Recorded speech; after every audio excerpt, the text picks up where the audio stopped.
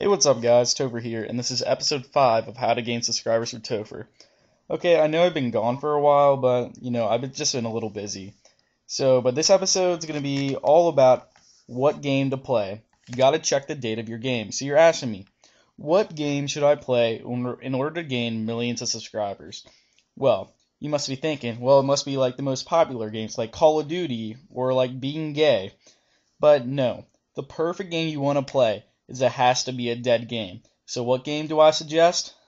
Halo Wars. Halo Wars came out in 2009. There's only about 4,000 people that set, that play it. So if I do my math correctly, we get about 4,000 people that played in total, times about you know a million views. That'll be like 4 million accounts. You'll get 4 million subs within three months, guaranteed. So and then I I know I haven't posted any Halo Wars, but I'm thinking about if I can get my capture card set up to my Nintendo 64, I'm gonna post some Mario Kart. But yeah, that's my plan. So uh, out. See ya.